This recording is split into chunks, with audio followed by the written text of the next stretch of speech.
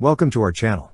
Don't forget to subscribe and put likes, because your support is important for us. And here we go. In late February, China Central Television, CCTV, a state-owned broadcaster, released video footage showcasing the ongoing development progress of the Tianying, Skyhawk, unmanned aerial vehicle, UAV. The imagery revealed advancements in stealth capabilities and extended range, accompanied by commentary from CCTV highlighting the ongoing flight testing of the upgraded UAV. Additionally, the video displayed the air vehicle in flight, featuring its tricycle landing gear deployed in the wheels down position. According to CCTV commentary, recent enhancements to the UAV include improved stealth characteristics and range performance. The Skyhawk is a Chinese stealth unmanned aerial vehicle, UAV, primarily designed for reconnaissance and surveillance missions. Incorporating advanced stealth technology, the Skyhawk UAV can operate covertly in contested airspace, providing real-time intelligence gathering capabilities for military applications. Introduced in 2018, it was presented as a new option for long-range, high-altitude surveillance missions.